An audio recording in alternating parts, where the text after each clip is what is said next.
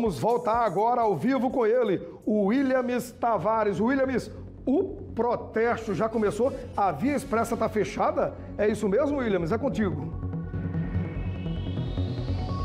Exatamente, Douglas, protesto acontecendo agora aqui na Via Expressa, no Antares. Os moradores bloquearam os dois lados da via, colocaram pneus, também tocaram fogo nesses pneus, alguns pedaços de pedra. Os moradores, pelo que nós apuramos, são do Benedito Bentes, da Grota da Alegria. Nós podemos acompanhar mais à frente, o trânsito está todo parado aqui, muitos ônibus, os trabalhadores por ali, estudantes que estão aguardando a liberação da via para que possam passar por esse local. A presença também da Polícia Militar mais à frente, os moradores aqui da Grota da Alegria, inclusive, estão com esses cartazes que serão mostrados agora pelo Clefton. Não aguentamos mais, queremos providência do governo. Ali também tem algumas imagens é, da comunidade aqui da Grota da Alegria, pessoal sofre muito com esse acesso aqui que está desabando. Outras casas também já desabaram na região. Falta de pontilhão, daquelas pequenas pontes para que eles possam passar de um lado para o outro. Eles querendo apoio de órgãos municipais para que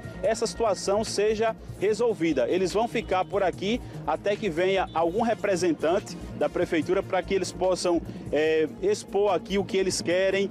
Já é uma luta antiga. Nós fomos, nós estivemos, eu estive lá na Grota da Alegria já por duas vezes pelo Balanço Geral para mostrar o sofrimento deles, a preocupação. Sempre que chove, eles ficam ilhados, eles sofrem muito, principalmente quando tem chuva na região. E na manhã desta segunda-feira decidiram fechar aqui a Via Expressa como forma de protesto. A gente vai continuar acompanhando é, esse protesto aqui dos moradores da Grota da Alegria, no Benedito Bentes.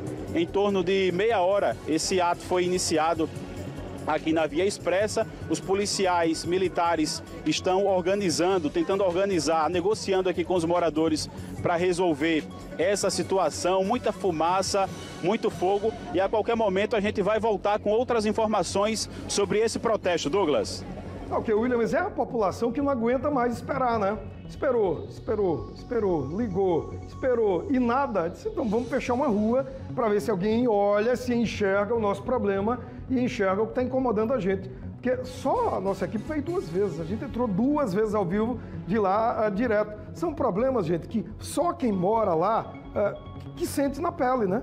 A gente mostra, fica imaginando, mas quem está lá sofre demais. Então, olha só aí protesto, via expressa fechada. A via expressa é a passagem obrigatória para muitas vans que vêm do interior para cá ou que eh, vão daqui de Maceió para o interior. Então, situação complicada. O Benedito Bento com 200 ah, mil ah, moradores, claro, os moradores aí, Antares, Benedito Bentes, a cidade universitária vão sentir um impacto ainda maior porque estão parados, não podem sair. Tem muita gente que está trabalhando hoje, apesar do feriadão, mas muita gente trabalha, tem médico marcado, tem alguma coisa para resolver, mas tem esse protesto, porque os moradores tentaram, segundo eles, de todas as formas, mas não foram ouvidos ou foram ouvidos, mas não tiveram nenhuma resposta da prefeitura. Então, a gente aguarda para ver e vai continuar, claro, acompanhando essa história. Isso mexe na vida do montão de gente. Só aí, ó, montão de gente parado, carro passando com dificuldade, ônibus parados,